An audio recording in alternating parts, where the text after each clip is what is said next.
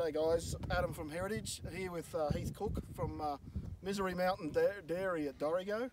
Uh, having a quick look at his uh, tempo paddock of ryegrass.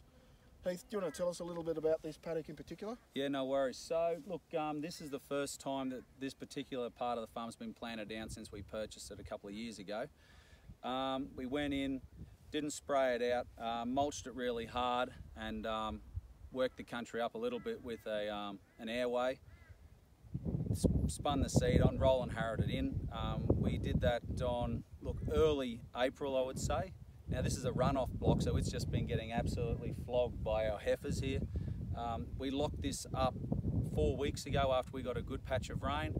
And as you can see, look, it's, it's starting to get to a point now where we need to get in and bale, and we're due to start cutting this um, late this week. Good thing about this paddock is it's got a good stand of uh, clover and chicory and plantain underneath it. So if you can have a look, quick look down here, you'll see as soon as we cut this, we're going to have excellent regrowth from the ryegrass, but we're going to have the clover and the chicory come powering through. So we're going to get multiple uh, feeds off this after we cut it. Thanks very much, Heath. No worries. Yeah, look, really happy with it. We, we, we should get three or four cuts off this before we plant back down again next year.